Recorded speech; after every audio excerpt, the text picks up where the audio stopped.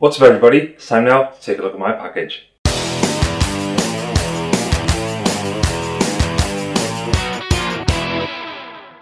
So today's video is an unboxing and then we're going to be looking at some specs of a microphone and giving it a quick test as well. I've been looking at doing some podcasts for a while and wanting to upgrade some equipment so that the quality of it is much better than what I used to do.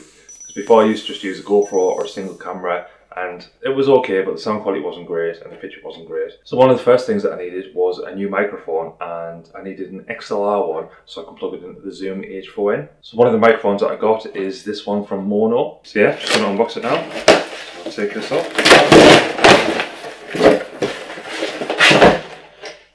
And there's the microphone there. So this is the AU PM320S. So there's the front of the box. And on the back of the box it's got all the different specs as well about the microphone.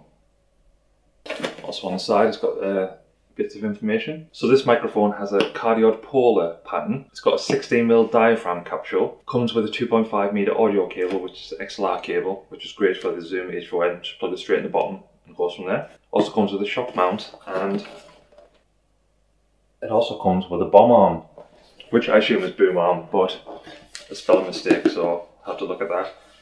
Comes with full metal casing, XLR output, and an ultra low noise circuit design. Microphone also comes with a pop filter, which is great for podcasts. So when you're up close and you're saying your purse, that'll just cancel it out. So as stated, the polar pattern was cardioid. The frequency response is 20 to 18,000 megahertz. The signal to noise ratio is 75 decibels. And also the requirements for phantom power is the 48 volt DC and a 3 milliamp typical. So you need phantom power to power this mic. So if you're going to try and plug it directly in your computer, it's not going to work.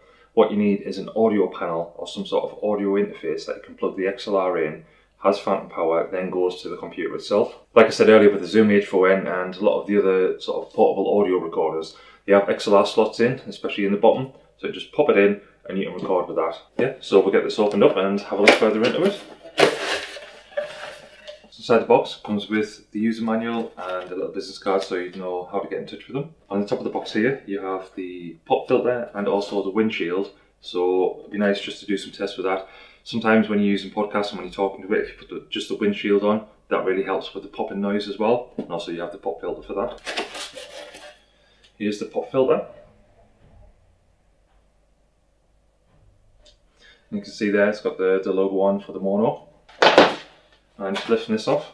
Then underneath we have the mic itself here. We have the XLR cable, have the boom stand, shock mount and also the thing to attach it to the table.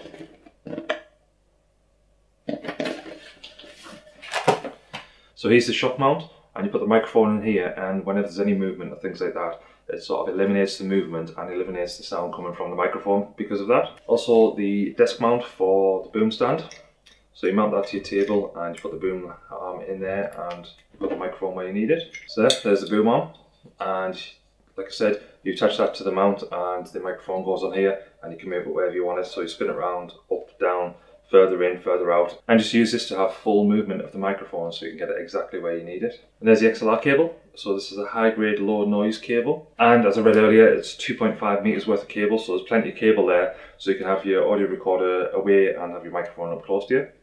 Last but not least, this is the microphone. So it's got quite a nice weight to it. It's in a nice matte black and it's got the Maono logo on.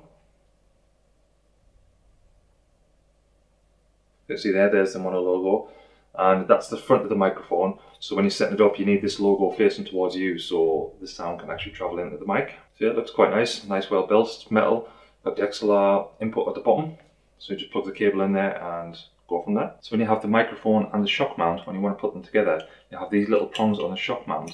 You just need to push them together like so. That opens up a space for the microphone to go in. And you just push the microphone in and then it's secured. You can see there, the microphone's in the shock mount and that keeps it more secure when you're recording. It's very easy to set up with the boom mic as well. So this black bit here, that goes into the mount which goes on the table and you have the one here with the little screw end. That one there you can just move it and screw it into here and that holds the shock mount and you have the twisty knobs here so all you do is just tighten them up so you get it in the position where you want it. Tighten everything up, make sure it's all tight. Then when you have the stand with the boom arm your microphone's secured and it's not going to move anywhere. So the boom arm is really good, especially if you want to make slight adjustments so you can move it forward slightly and the microphone actually tilts with it as well. So if you need to get it at a specific angle that you're talking, so if someone's down low down here, you can do that. Or if someone's up here, you can just twist it and then it'll do it in that direction. And then like I said, to connect it to the table mount, just do that. Very simple. And you undo this, attach that to the table, tighten it up, and you're good to go. Then obviously next is your XLR cable. And that just slots in exactly like that and that goes into your recorder. And last but not least is the pop filter. And all you do is just connect that to the boom arm with the connection provided and you can have that in front. So when you're talking in the microphone, then you have the pop filter there so you can control it and you're not going to get that whenever you're talking. So that's a quick overview of the microphone. So all that's left now is just to do some tests and see how it performs. So this is just a quick audio test. I've got my Zoom H4n and I've connected up to the Maono microphone. So this audio that you're hearing now is from the microphone itself. So just put the recorder down and I'll just leave that going. So this is me talking at the microphone at a, a nice distance. I'm not not looking directly at it. I'm just looking at the camera and it's off slightly to the right hand side. So this is the volume here. And then if I lean back like this and I'm still talking to it, that's what the volume sounds like that. And what I can do, I can take the, the windshield and this is the audio with the windshield on, and this is how it performs with using that. The next thing I can do, I can put up the pop filter, so that's how the audio sounds with that. So that's the pop filter and the windshield. I take the windshield off and just have the pop filter, and this is the audio with the pop filter only. So yeah, that's testing the audio with the microphone, and like I said, I got this for podcast, so I'm hoping it'll be quite good with the audio, especially coupled in with the Zoom H4n, because I can just record it directly on, and it's got two XLR inputs, so if this sounds good, I'll just get another one, then I'm sorted with the two microphones. So that's the sound test over. Hope you enjoyed that unboxing and a little quick review of it. The review is quite limited because I've just got the microphone and just put it through the initial tests that I normally do with it. So of course I'm going to be using this in the field and use it on podcasts and things like that. So I'm not going to do another video in the future with a much better review of it so that I've used it over time just see where the likes, dislikes, positives and negatives are. But at the moment for the build quality, quality of the microphone itself, and everything else, the, the price that you pay for it is just an absolute steal. So if you're in the game looking for a cheap XLR microphone, I definitely recommend this. When I'm on the Mac and I'm doing Zoom calls and recording content of me recording a screen, that sort of thing, the microphone that I use is a USB microphone which plugs directly into the Mac itself, and that's a Samsung microphone. Really, happy with that, really over the moon with that. If you want to upgrade from a USB to an XLR cable, then I think this is a great first step to do it. On the market, there is other microphones which you can get. However, in this price bracket, you're going to be stumped to find something which is equally as good or better than this microphone to get. Maono themselves and other brands, they have bigger microphones and better microphones, which is more expensive. So if you want to take the leap up to a higher price bracket, then you can look at those microphones. But if you're just starting out and you want a microphone so you can plug it in, get away with it and start recording stuff, then this is for you. Hope you enjoyed the unboxing and I'm still in the process of sorting out backdrops and stuff like that. So as you can see on one of the other previous videos, this was slightly different. I used to use it on the other wall, which was on the TV and sort of have the screen behind and all the LED stuff. But since recently getting this settee, I've decided that this is a bit more comfier and laid back. So I'm going to start using this. And of course, I moved over all the neon lights. I'm still waiting for a new extension lead, which is a black one. And I'm still not sure about do about this cables just to hide them. But